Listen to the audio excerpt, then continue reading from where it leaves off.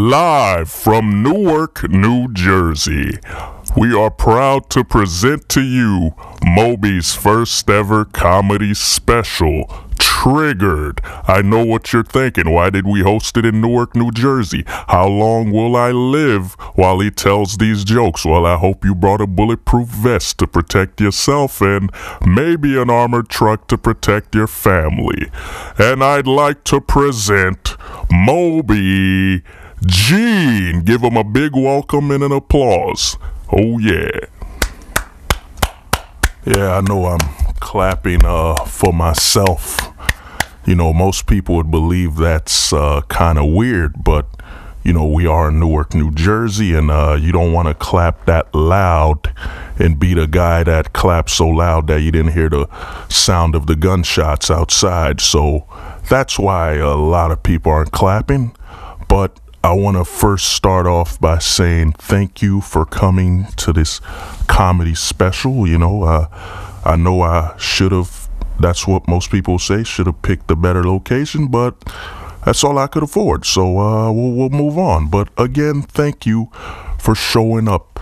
You know, a lot of people believe that New Jersey just isn't that good, that, you know, we're just, you know, a bad apple.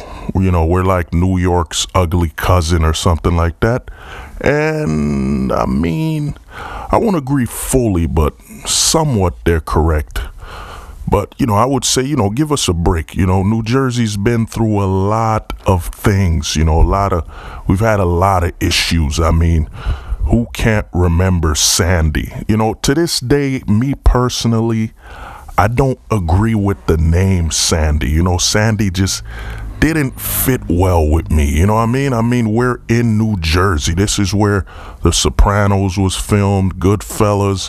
I mean, all the Italian films were filmed here. Any Italian film where someone got shot or killed and uh, someone wore a suit.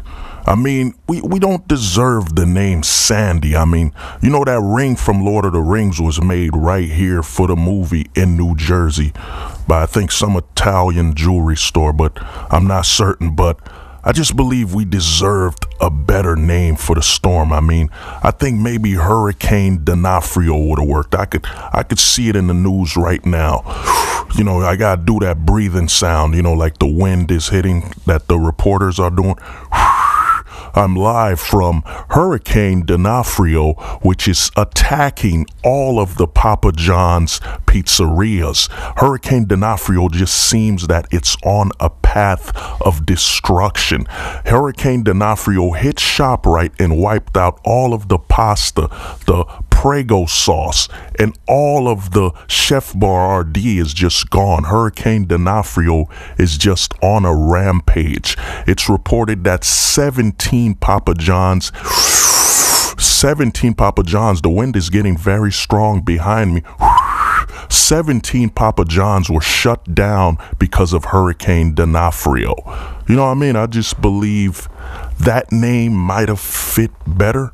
But I, I, see you in the audience. I see you, Italian guy, flipping the pizza dough. I see you're upset. So I'm going to switch it up a little. Maybe the hurricane's name, you know, we are in Newark. Maybe the hurricane's name should have been Hurricane Deshaun. Okay? You like that? Hurricane Deshaun. Let me switch back to reporter. I'm live, and Hurricane Deshaun is scheduled, or should I say, was scheduled to hit New Jersey at 4 p.m. It appears that Hurricane Deshaun is late.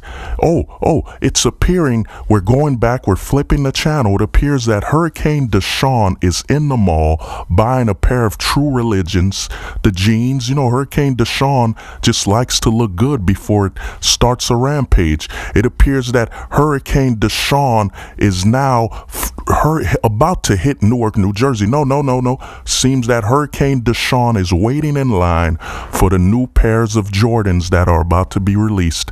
You know, in all my years as a reporter, I've never seen a hurricane just do something else besides destruction. It looks like Hurricane Deshaun is getting in a what looks to be a hoopty or some broken down car and he's drinking a 40. Hurricane Deshaun is driving right by, going straight. Oh, oh, oh. Looks like Hurricane Deshaun is going towards KFC. No, no, no, no.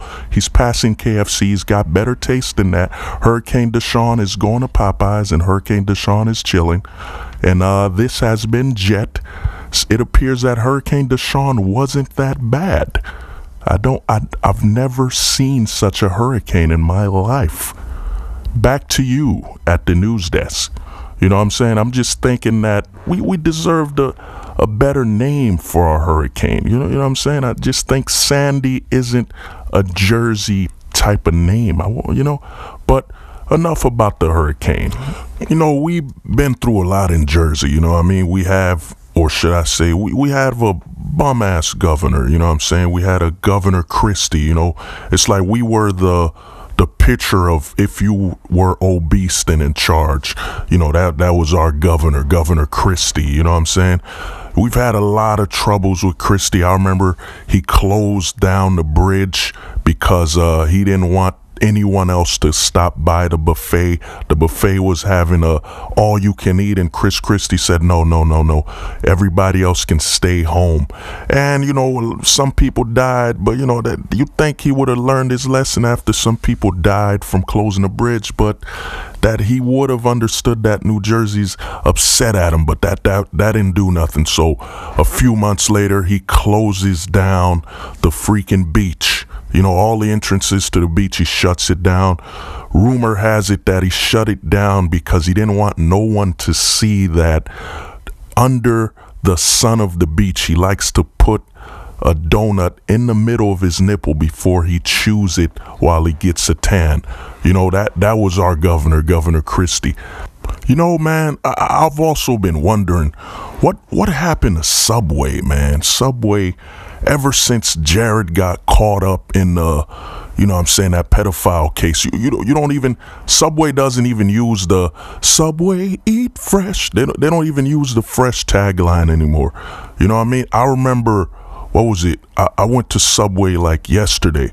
Went to Subway, my little nephew, you know what I'm saying? I was feeling a little tired, so I just gave him the money to go order my food. And he, the Subway guy when he tried to make his order, the subway guy said, We can't allow you to make an order without ID. You know what I'm saying? Subway is just is just changed, man. You can't so I walk up there, you know what I'm saying? I walk up there to make the order myself and I ask the subway clerk, you know, whoever the guy serving the food is, I'm like, yo, man, could I get some baby cabbage? And he replies, We don't sell baby cabbage. I'm like, yo, yo, yo, man, what about some, you know, some baby celery. He said we don't sell that. So I'm looking through what they got to offer. And you, yo, man, Subway's food ain't even fresh no more. He just, I just told him, read me what you got. He said we got mature lettuce, we got grown beans, we got full adult mayonnaise. You know, none of our food is below age. You know what I'm saying? He just seems stressed. You know what I'm saying? So I tell him, I tell him, you know, do y'all have pickles? And he pulls out a pickle jar, and that pickle jar, the pickles were just black. You know what I'm saying? And I knew the pickles were black because they said, you know what I'm saying, the pickles had some uh, fucking hot sauce dipped on them, you know, but that's something else. So, they, you know, Subway just ain't the same. But you know, you know who I feel bad for? Cause Subway, man, Subway used to be the place where if you were fat, you could get a lot of girls. You could go to Subway and you know, your pickup line was just that I'm trying. I'm trying to change my life. You know, I mean, I had a homie, one of my homies, his name is Horse. You know what I'm saying? His, his name is Horse. I know what you're thinking. Why? Well, we call him Horse in college, you know, because he was the dude that could take five shots of Jack Daniels. He would not black out and fall on the ground. He'd just be standing, and, and he's blacked out standing. Horse would go up there big dude. He weighed like 350. Horse would just go to Subway and yo, he would leave out with mad numbers, you know, mad girls. I would say he would be bagging an average of an eight to a nine because, you know, when Subway was that thing, man, when Subway was big, if you were fat, overweight, you know what I'm saying? Because horse was horse was 350 pounds of man boob. You know what I'm saying? Each of his titties probably weighed the same amount as a bowling ball. You know what I'm saying? But he would walk out, and I'm I'm waiting for him in the car. He would walk out with like five, ten numbers, cause yo, them girls couldn't say no. I mean, uh, how you gonna say no to a guy? That's trying to lose weight, that's trying to better himself. It, it just made these women feel bad, and you know, I would, and they would give him his, you know, they would give him their numbers. You know what I'm saying? And that's my boy Horse right there. But you know, man, Subway was that place for fat people. You know what I'm saying? You could you could go to Subway on uh at 6 a.m. You know what I'm saying? And bag a hot girl. You know, that's usually when all the girls that would go jogging early in the morning, that's where they would go. And if you were fat, you know what I'm saying, you could pretend like you walked there. You know what I'm saying? You could you could pretend that you walked five miles every day to Subway early in the morning to pick up a healthy meal. You know what I'm saying? Because that's what Horse would do. Horse would have me like park the car like five blocks away from Subway, and he would like he would pour some hot water on his body to look like he was sweaty, and he would just walk into Subway and uh, the the girls would look at him and he would just say, you know, I'm trying, I'm trying to better my life, I'm trying to change my life like Jared. In fact, you know what I mean? I, right now in Subway, the way things are, they don't say eat fresh, they don't say nothing. You got, like I said, you got come there with ID. You must be 18 or older to order your food at Subway. You know what I'm saying? So, you know, Subway's messed up now. You know what I'm saying? And I know some of y'all thinking, well, Subway's fucked up. Why why not just go to Arby's? But you know, Arby's is for fat people that want to look like eating a fucking rib sandwich that's on a sandwich that's on bread is healthy. You know what I'm saying? Arby's is just it's just for fat people. You know what I mean? You gotta be big. You ain't losing weight. You ain't doing nothing at Arby's. You know what I'm saying? and man, but I do miss Subway though. But Subway's even Subway's at the point where you can't order food at Subway if you're wearing glasses. You know what I'm saying? They they look for your identification, all that. You know what I'm saying? Subway, what happened, man? I used to love Subway. Get that five dollar foot long, even though that five dollar foot long was mostly bread. You know what I'm saying? I got a story. I remember I went to Subway once and I ordered a five dollar foot long and um the lady that was serving me was cutting up the meat so she put like six slices i mean thin thin ass eyelash looking slices of meat you know what i mean like you could throw you could throw that meat she was putting on my bread in the sky and that joint would float like it was a paper plane so she put six slices of uh, ham or turkey, whatever that shit was, on my bread. And the manager comes out and says, Wait a minute. You've given him too much. Take two slices of that thin ass eyelash looking ham out of the bread. You know what I'm saying? And ever since then, I've, I've always had a bad feeling about going to Subway, you know, but I guess, you know, that, that that's what happened, you know. But I, I still miss Subway though. I'm gonna be real. I, I miss when Subway was that thing.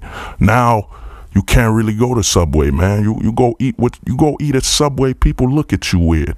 You know what I'm saying? You can't wear a trench coat at Subway no more. You know what I'm saying? It, it could be the winter. It could be a storm. If you going in Subway, you better go in there with some shorts and uh, you know what I'm saying, a white tee.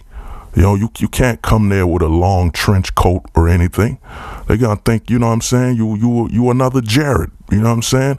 A part of me kind of now though that Jared's in jail, a part of me kind of understands. Maybe I understand how he lost weight. Maybe early in the morning after chasing a kid that was chasing an ice cream truck, he would be so tired he would end up at Subway. You know what I'm saying? Maybe that maybe that's why Jared lost all that weight. You know what I'm saying? He'll be chasing some kid going after an ice cream truck, and uh, and the only place he could stop because he's so tired after chasing a kid was Subway. You know, but you know, R.I.P. to Subway, man. You know what I'm saying? It, it was good until it got strange, very strange. You know what I'm saying? But uh, you know, man, you know, you know what I like? I like a girl with a forehead, you know, kind of kind of like Rihanna. You know what I'm saying? A part of me thinks I think people, I think chicks or people with big ass foreheads are in the womb when they develop, I believe they start with their forehead first. You know what I'm saying? Like the forehead develops, then the rest of their head, then the rest of their body. You know what I'm saying? I personally, I would date Rihanna. You know what I'm saying? I I wouldn't I wouldn't you know I mean I wouldn't stay with her, but I would date her. I would give it a try. You know, but. I like a girl with a big forehead because a girl with a big forehead, a, you know, I'm you don't got to text her. You could just leave a sticky note right on her forehead. She wakes up, you know what I'm saying? She wakes up, touches her head. She touches her head and just sees the note, you know what I'm saying? And the note, she reads the note right off her head and it says, I'm out with the homies. I'm about to get a drink. You know what I'm saying? A girl with a big forehead is very useful. You know what I'm saying? Also, think about it. Think about all the money you could save on Valentine's Day. You don't got to buy a Hallmark card. You don't got to buy nothing. You just write right on her forehead with the note. You know what I'm saying? And she gonna read it and she gonna say, "Oh, I love you. You were so thankful." And you you're not even in the house because you know you left the note with her. You know what I'm saying? Breakfast in bed, she wake up and the notes on her head. You know what I'm saying? I got to copyright that. That was a good line. But uh, also, you know, a girl with a big forehead is very useful for protection too. You know what I'm saying? You get in a fight, you know what I'm saying? Somebody about to swing at you, use a forehead as a shield. You know what I'm saying? A forehead like that, that big, is very useful. Also, think about it. You know, just I, I mean, I don't think this would ever happen, but you know, all the ISIS and all that stuff. You know what I'm saying? You're walking, you're in a chicken shack, and out of nowhere, a sniper, you know, just shoots. You know what I'm saying? Nine out of ten, if the sniper and uh, correct me if I'm wrong. I doubt I'm wrong. If, I know if you get hit in the head, you would die. But if you get hit in the forehead, you you know the odds of you surviving are like eighty percent, depending on how big your forehead is. So, you know what I'm saying? Think about that. A girl with a big forehead is very useful. You know what I'm saying? Also, I mean, think about it. One more thing. Just just think about that. You done, you know what I'm saying? You just laid it down. You just entered her, you know, you just entered her like a search party, flashlights and all that in her, you know.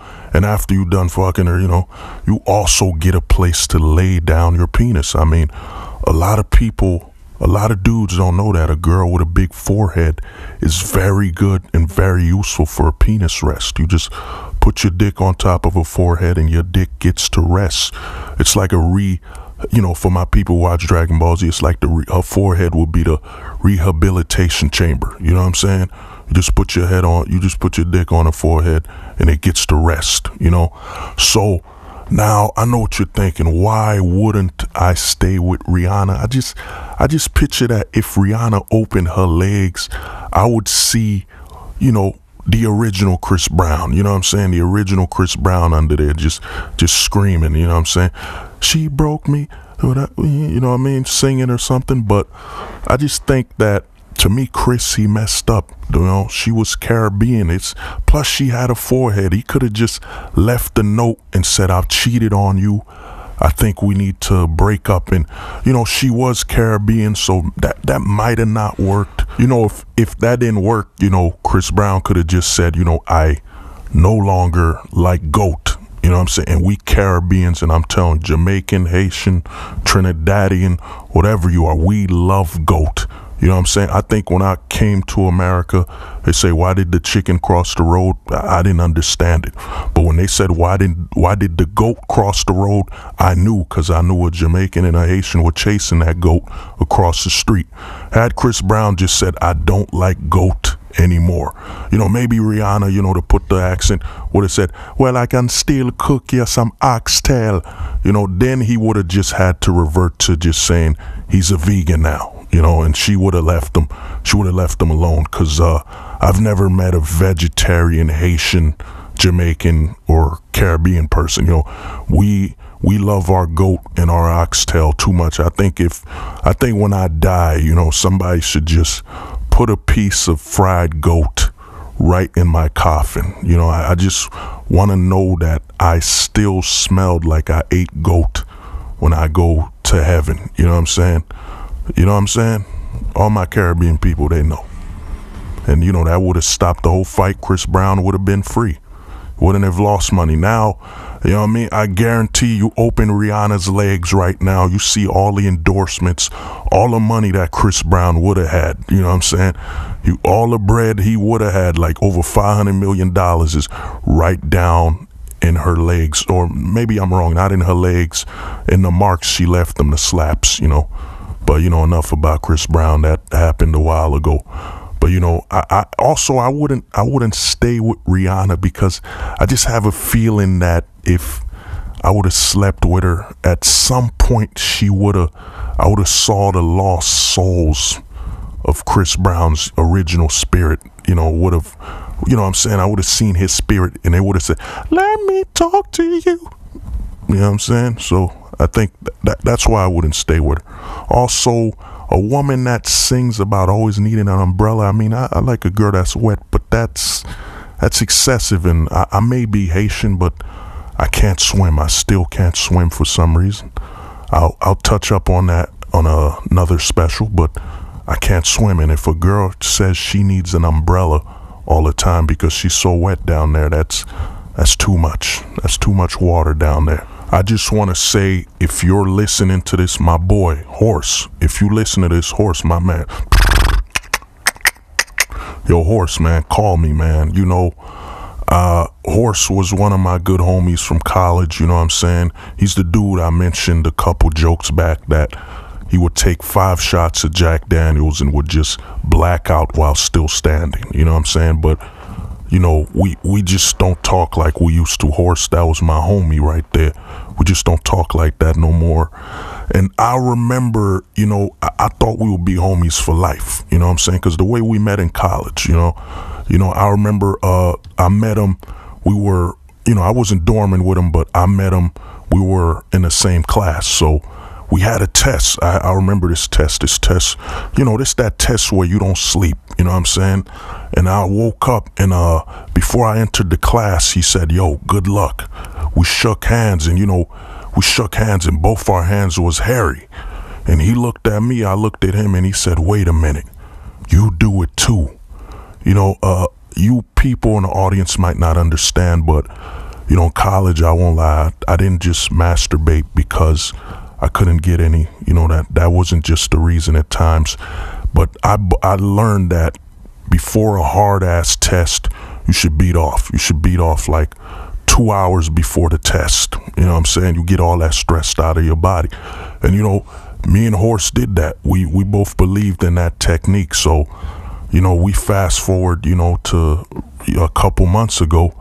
You know what I'm saying? I, I never thought I would care that much about social media because, you know, back in the day, you used to just talk to people, y'all friends. But Horse, man, Horse blocked me, man. He blocked me on Instagram. You know what I'm saying? I still got his number and all that, but, you know, he blocked me on Instagram. You know what I'm saying? So I give him a call. I'm like, yo, Horse, my dude, my, my G, my, my homie, why you blocked me on Instagram, man? He said, man, you know, and, and the, it's it's not just that he blocked me, it's the time he blocked me. You know what I'm saying? I was just about to. I got a routine, you know what I'm saying? You know, I beat off every Thursday. And he knows that. So when he blocked me, you know, my hand was just about to put in work and I got the notification I was blocked. So I check my Instagram and I see that horse block me. So I call him. He picks up the phone. You know what I'm saying? I'm like, yo, horse, what's good? And he like, you know, bad up good. But yo, bad, I had to block you, dog. And I'm like, yo, horse, man, why you block me, homie? We, we been homies since college, man. Come on. And he said, you know, bad, because you just don't respect me, bad. You, you always putting a sad face emoji on my post, man. I just had enough of that. And I'm like, yo, horse, man, all you do is post food. And, and you be posting food that you bit you know what I'm saying? Who the hell post a picture of a cake with a bite mark on it or a cheeseburger with a big ass tooth mark that looked like a fucking dinosaur bit it?